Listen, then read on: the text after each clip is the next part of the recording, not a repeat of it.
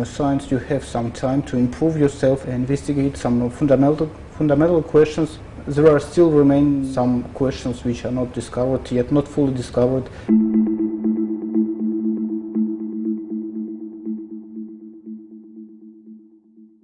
Vladislav Yastrebov.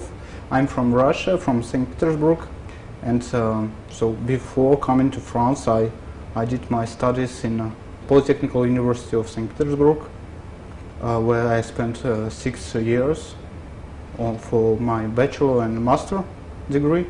next, I work a bit for industry, for American Incorporation Corning as a researcher.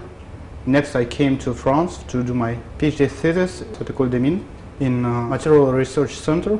So I spent uh, three years here. Now I work on uh, computational solid mechanics.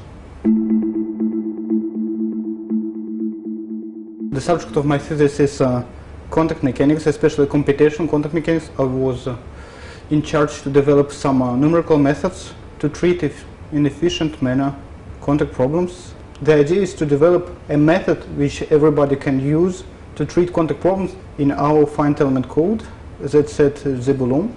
It, it was not really engineering, it was applied mathematics, programming. First because I know uh, very well the French science and mechanics, so I know many, many names. And next, uh, because the subject they proposed me was very, I liked it a lot. It was on computational contact mechanics that it was something that I didn't know before. It was an opportunity and I, and I decided to go do a PhD.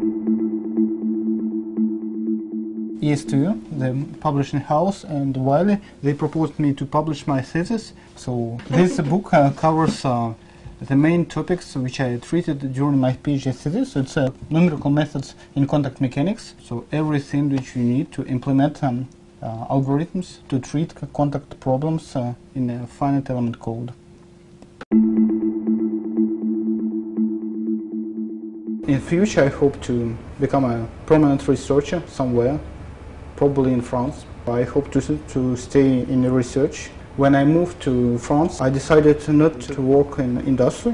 Even though my actual project is, is totally different, I still work with my colleagues from Lausanne and my colleagues from here on uh, contact mechanics.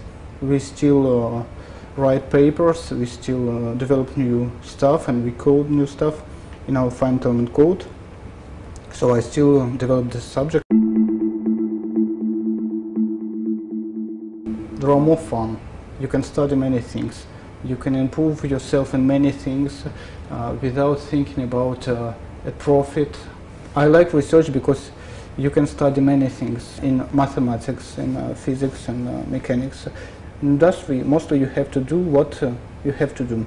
In uh, science, you have some time to improve yourself and investigate some fundamental fundamental questions, even though in mechanics it's mostly applied questions, applied problems.